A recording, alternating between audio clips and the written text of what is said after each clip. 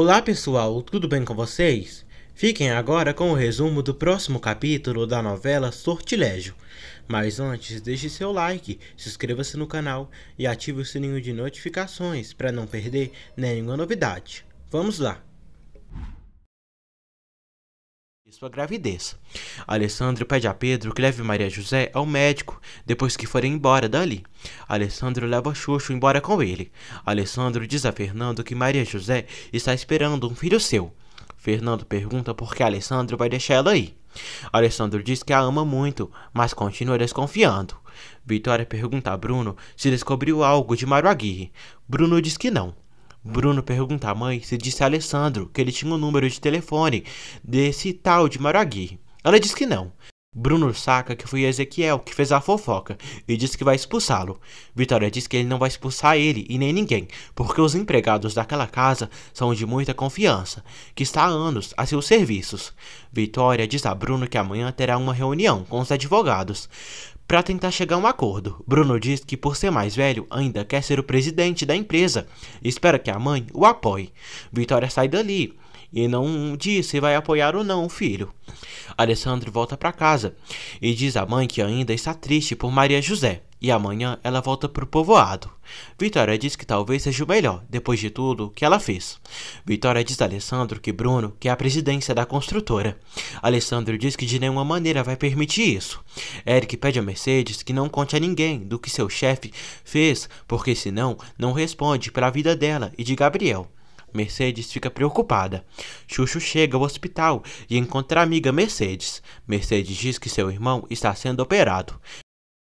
Pedro diz a Maria José que já compraram as passagens para a viagem, mas acha que seria melhor irem depois de amanhã, porque ela está muito mal. Maria José diz que não quer atrasar as coisas e já está bem, e tem que ir o quanto antes. O médico avisa Mercedes que a operação do irmão dela foi um sucesso, tanto sucesso que ele não precisará fazer outras. Ela fica alegre. Xuxo pergunta quem atropelou Gabriel. Mercedes diz que a cunhada de um tal de Alessandro Lombardo.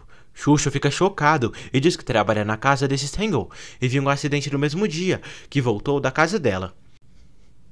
Xuxo diz que viu quando o carro bateu em um fulano que se levantou e foi caminhando com suas próprias pernas e não era Gabriel. Mercedes fica assustada. Xuxo diz a Mercedes que essa família são seus amigos. Mercedes pede perdão, mas diz que seu irmão precisava dessa operação para voltar a caminhar e por isso quis participar desse plano macabro. Mercedes conta que seus amigos souberam de tudo através de Eric, que é primo de seu compadre. Maura fica sabendo que Maria José foi expulsa e diz a Roberto que tem suas estratégias para conquistar Alessandro. Maura pede a Ulisses que ligue para Mateu para encerrarem o trato que tinham com ele. Ulisses liga, mas o número de celular já não existe. Maura fica preocupada. Mercedes vai ver seu irmão, que está se recuperando. Mercedes pede a Xuxo que deixem as coisas como estão e não conte a ninguém do rolo que ela e Gabriel se meteram. Ulisses e Roberto procuram por Mateu. Xuxo chega à casa grande. Amanhece. Alessandro dá um dinheiro a Xuxo, mas pede que não vá perder, igual da vez passada. Mateu liga para Bruno e dá um novo número do seu celular.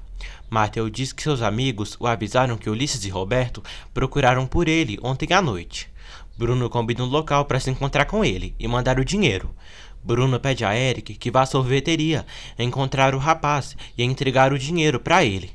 Xuxo chama Eric de cachorro. Eric quase agride o velho. Alessandro chega ali e impede a briga. Maria José, Paula e Pedro chegam à rodoviária e pegam um ônibus para viajar.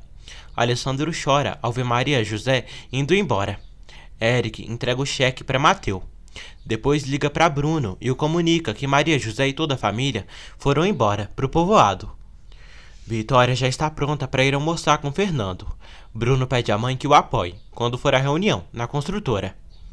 Vitória diz que vai apoiá-lo, mas não é em tudo que ele quer. Vitória diz a Bruno que ele esqueceu dos direitos do pai dele. Bruno pede à mãe que não fale desse velho desgraçado que só quis infernizar sua vida.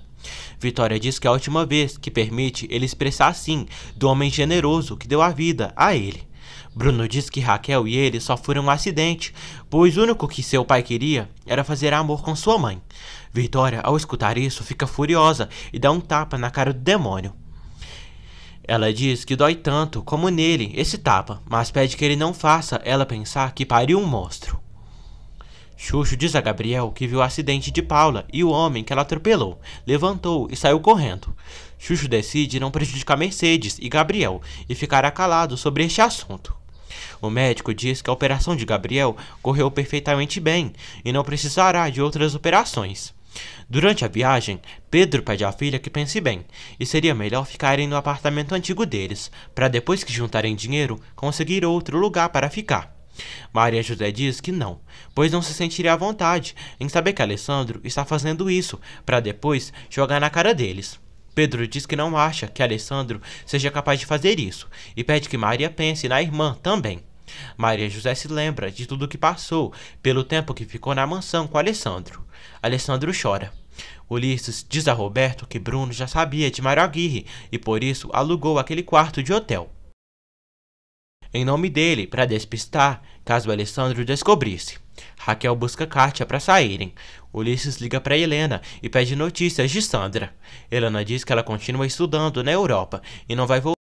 Ulisses diz a Helena que a mulher idêntica a Sandra se chama Maria José Samaniego Miranda, mesmo sobrenome de Sandra. Ulisses pergunta se são parentes. Fernando diz a Vitória que Kátia está muito rebelde e não quer estudar. Vitória diz ao amigo que Kátia está em uma idade muito difícil. Fernando diz que Kátia é inteligente e não pode deixá-la desperdiçar sua vida, mas que se intervir, ela vai odiá-lo. Vitória diz a Fernando que ele tem que deixar de vê-la como uma menina, pois já é uma mulher feita. Vitória toca no rosto de Fernando. Raquel e Kátia chegam ali e acabam vendo tudo. Fernando diz a Vitória que a admira há anos, e uma vez ela perguntou por que ele não tinha namorada, e vai dizer, porque é um sentimento que já não pode calar. Fernando revela a Vitória que está apaixonado por ela, e mesmo que ela não sinta o mesmo que ele está sentindo, sabe que ela o ama. Vitória se surpreende. Fernando pede a Vitória para tentarem. Vitória pede que ele pense na idade deles. Fernando diz que isso não importa e o que importa é que ela é uma mulher esplêndida, linda. Vitória pede para não falarem mais disso. Fernando diz que Alessandro já sabe e o apoia. Vitória vai embora. Raquel se preocupa e diz a Kátia que se uma mulher e um homem se acariciam, não são só amigos. Kátia diz que seu irmão tem quase a mesma idade de Bruno e seria impossível querer algo com Vitória. Raquel diz que se Fernando é amigo de Alessandro, não entende, porque vai todo dia na sua casa e sempre vai ver sua mãe. Kátia fica surpresa. Raquel revela a Kátia que ela e Bruno são filhos de Antônio Lombardo, e tudo porque sua mãe, Vitória, botou chifres no Samuel, homem que eles sempre pensaram que fosse seu pai. Vitória vai à construtora chorando e pede a Mari para falar com Alessandro. Fernando chega à empresa e chama Vitória. Ela diz que agora não. Vitória abraça Alessandro. Fernando vai para o seu escritório e se chama de estúpido por ter contado seus sentimentos para Vitória. Vitória diz a Alessandro que Fernando revelou que está apaixonado por ela. Alessandro diz que sabe, e o que conta é o que ela sente. Alessandro diz que se apaixonou como um imbecil por Maria José, que tem uma família desastrosa e supostamente iria se encontrar no hotel com outro. Mas agora que ela foi embora, sente muitas saudades dela como um condenado. Alessandro diz à mãe que ele só tem uma vida e pede que ela desfrute do amor com Fernando. Vitória chora e diz que não se atreve, pois viveu muito tempo com a opinião dos outros e é uma covarde. Alessandro diz que é hora dela reagir. Ele a abraça. Raquel chega à construtora com urgência para falar com Alessandro. Bruno diz a Raquel que Alessandro está ocupado. Raquel diz que está louca de vergonha e, e, nojo, porque acabou de ver Fernando e sua mãe agarradinhos em um restaurante. Bruno fica surpreso. Um tempo depois, todos se reúnem na sala de reunião para resolver o negócio da herança. Os advogados de Bruno dizem que ele continua decidido a impugnar o testamento do pai, Antônio Lombardo, e que a proposta de Bruno é dividir a herança em duas partes. Raquel diz que tem que ser em três, porque ela também conta.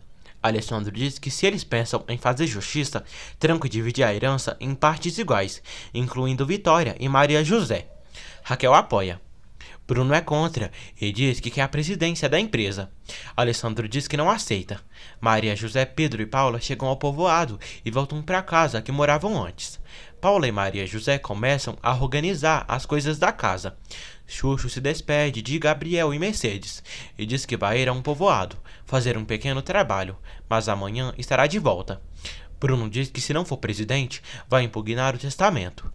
O advogado de Alessandro diz que como Antônio Lombardo não padecia de nenhuma incapacidade mental, não existe argumento válido para impugnar um testamento. Bruno diz que ele e Raquel são filhos e têm direitos. Os advogados de Bruno dizem que podem demonstrar com um exame de DNA para Bruno, Raquel e Alessandro dividirem a herança. Alessandro pede para deixarem Vitória fora disso. Bruno diz a Alessandro para ceder a presidência para ele. Então, Alessandro diz que isso não é acordo, e sim chantagem, e prejudicaria sua mãe. Bruno diz que não acha que sua mãe se importa com honra, pois anda se exibindo com o amante dela, que é de sua idade, em lugares públicos. Alessandro dá um soco na cara de Bruno e na barriga do demônio. Isso mesmo, Alessandro. Você podia ter arrebentado mais, mandado esse verme pro hospital. Todos separam Alessandro e Bruno durante a reunião. Vitória diz a todos que, como não tem vergonha do amor que teve com o pai de seus filhos, prefere ir a julgamento, porque isso foi decidido pelo seu eterno esposo, e também é sua decisão, e que seja respeitada sua última vontade. Vitória está voltando para casa no carro e está chorando muito. Vitória conta a Filipa que seus filhos são um desastre, vingativos, mas pessoas, e a culpa é sua. Filipa diz para ela não se culpar disso, pois Raquel e Bruno nasceram e se tornaram assim. Vitória diz que Bruno não cansa de trazer de volta seu passado e a trata como uma qualquer, por ter traído Samuel, ficando com o homem que deu a vida a eles, que é Antônio. Vitória diz a Filipa que agora eles suspeitam que há algo entre ela e Fernando. Vitória diz a Filipa que Fernando contou abertamente para ela que está apaixonado por ela. Anoitece.